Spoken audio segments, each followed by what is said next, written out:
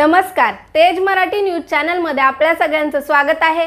तेज मराठी न्यूज चॅनलच्या ताज्या घडामोडी पाहण्यासाठी आजच आमचं चॅनल सबस्क्राईब करा लाईक करा शेअर करा आणि बेल आयकॉनचं बटन दाबा. धन्यवाद. स्फोटके निकामी करताना झाला स्फोट. बॉम्ब शोधक आणि विनाशक विभागाचे तीन जवान गंभीर जखमी.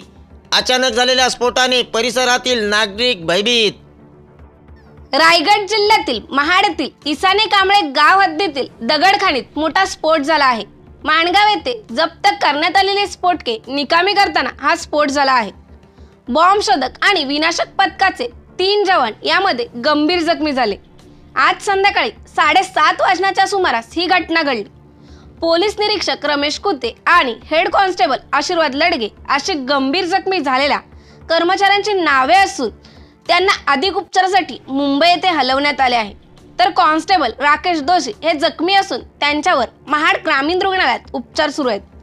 मात्र स्फोटाची तीव्रता इतकी भयंकर होती की जवळजवळ आठ ते दहा किलोमीटर परिसरात घरांच्या खिडक्यांच्या काचा security असून शेजारी बोलणं एकच होतं इसाने की कांबळे गावचे नागरिक. भयभीत झाले असून काही काळ तणावाचे वातावरण निर्माण झाल्याचे पाहायला मिळत होते. मात्र स्थानिक आमदार भरत. गोगावले प्रांत अधिकारी प्रतिमा पुदलवाड सहाय्यक पोलीस अधीक्षक Nilesh Tambe tehsildar Suresh Kasit M M M I D C police स्टेशनचे सहाय्यक पोलीस निरीक्षक आंधळे यांनी नागरिकांना शांत केले असून पुढील तपास सुरू आहे. ब्युरो रिपोर्ट तेज मराठी न्यूज महाड रायगड.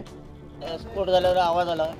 इथं आमच्या गावामध्ये आता साडेसात वाजता बॉम्बस्फोट झाल्यासारखा आवाज आला. लोक आमची जेवायला बसली होती. काय झालं म्हणून बघण्यासाठी घराच्या बाहेर पडलं. तर इथं ह्या आमच्या शोकतबाईच्या कोरी क्वारीच्या पुढे थोडा बॉम्बस्फोट पोलिसांच्या गाड्या दिसल्या. आणि त्या गाड्यांच्यातनं आम्ही बघितलं. तर इथं त्याने तो बॉम्बस्फोट कसा झाला काय माहिती नाही आम्हाला. आता आम्ही गेलो होतो तिथं बघायला सगळे ग्रामस्थ. पण आम्हाला काय पोलिसांनी जाऊन दिलं नाही. पण त्याच्यात आम्हाला असं कळतं आहे की त्यातले दोन कोणतरी मा माणसं सिरियस आहेत. त्यांना सरकारी दवाखान्यात उपचारासाठी नेलेले आहेत. आता आम्हाला आमच्या ह्या एम आय डी सी पोल पी एस आय साहेबांनी सांगितलं की तुम्ही तिथं कुणी जाऊ नका. आम्ही काय असेल ते बघतो. आणि ते आता निघून गेलेत. एवढं मला माहिती आहे. असा घडला की मी माझ्या घराच्या पायंडीवर माझ्या बसलो होतो. जो स्फोट झाला की स्फोट असा झाला की काय झालं हे कळालं नाही. पूर्ण पूर्ण गाव भेदारला. पूर्ण गावातले लोक एकत्र गोळा झाले काय नक्की झाला?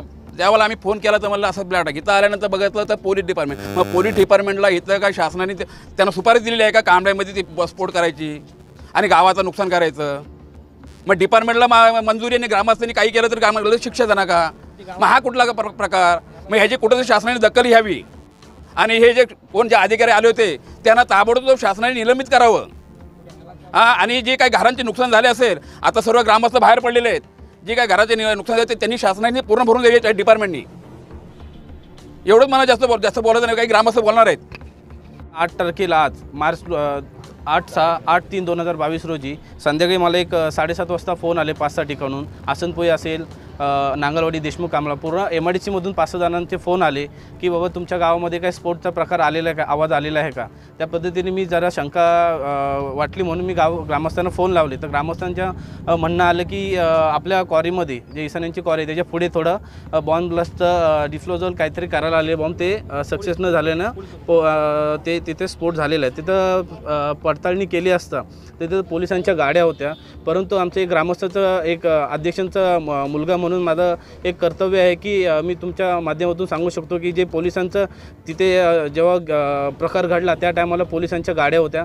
तिथे प- आम्हाला कोणाला ग्रामस्थांना काही प्र प्रथम सोडली नाही. कारण की पोलिसांच्या गाड्या असल्यामुळे. परंतु एक तुमच्याद्वारे एक मागणी करतो की दर टायमाला आमच्या इथे काही स्फोट घडून आमच्या काही गावाचं काही वाटोळ लावायचं आहे का? कारण की राजवाडी गाव असेल एम डी सी असेल आमचं इसाने कांबळीजवळ गाव आमच्या कॉरीच्या जवळ आहे. त्या जेणेकरून आमच्या गा गावामधील कायकांचे पत्रे फुटलेत घराला हादरे बसलेत काचा फुटले याचं नुकसान देखील त्या पोलीस प्रशासन कोण असेल तिथे त्यांना जबाबदार ठरवण्यात यावं. कारण की हे आत्तापर्यंत जर स्फोटक झालेलं आहे परंतु जर बळी कोणाचं गेला असतं त्याला जबाबदार कोण राहिलं असतं? हे देखील आम्ही आमच्या ग्रामस्थ वतीने मान माननीय आमदार भरतशेठ गोगावले साहेब असतील पालकमंत्री असतील यांच्याकडेही ह्या प्रकाराची दक्षता घेऊन तिथे जो प्रकार झालेला आहे याच्या आधी देखील प्रकार झालेला आहे का हे असं वाट लोकांच्या मनामध्ये आता शंका यायला लागल्यात. कारण की